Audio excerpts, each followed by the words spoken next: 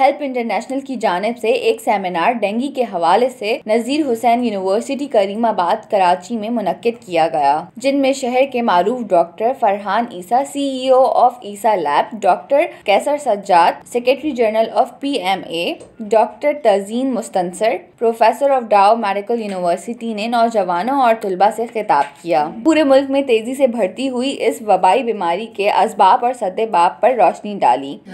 اور ذرا سے اور صحیح چیک اپ نہ کرنے سے یہ مہلک بن جاتی ہے اسی طرح میں نے بھی ڈینگی پر تھوڑی بہت تبصرہ کیا، تھوڑا بہت، اور تھیلیسیمیا کے متعلق بتایا کہ help international welfare trust thalassemia کے لیے جو کام کر رہی ہے، وہ تھیلیسیمیا کوئی بیماری نہیں ہے، کوئی مرض نہیں ہے۔ یہ بلڈ ڈس آرڈر ہے جو جینیٹک ہے اور اس سے بچنے کا بہت آسان سمپل علاج یہ ہے کہ دو مائنر تھیلیسیمک پیشنٹ کی آپس میں شادی نہ ہو۔ تو اسٹوڈنٹس نے ان ساری چیزوں کو بہت سراہا ہے اور بہت پارٹیسپیٹ کیا ہے انہوں نے۔ اور انشاءاللہ ہم امید کرتے ہیں کہ نہ صرف ڈینگی، ملیریا اور اس جیسے مرض جو کہ موزی نہیں ہیں، وہ موزی بن گئے ہیں۔ ان سے بچنے کے لیے ہمیں اویئرنیس ڈرائیو کرنی چاہیے جو سوشل میڈیا کے تھرو اور الیکٹرانک میڈیا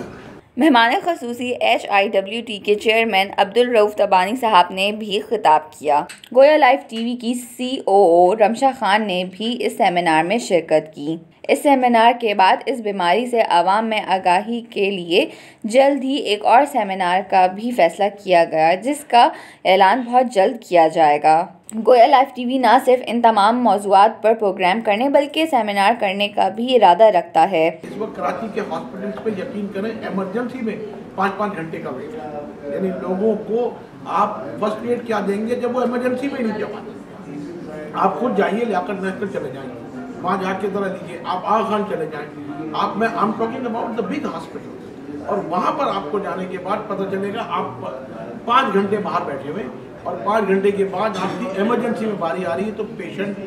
کو جس کے پلیٹلیٹس گر رہے ہوتے ہیں، جب اس کے بلیڈنگ شروع ہو جائے گی، آپ مجھے بتائیے پیشنٹ تو مطلب اس کی موت واقع ہو جائے گی۔ اصل چیز یہی ہے کہ ٹائملی اگر دوا نہیں دی جائے ٹائملی اگر اس کی ٹیک کیئر نہیں کی جائے گی، تو وہ پھر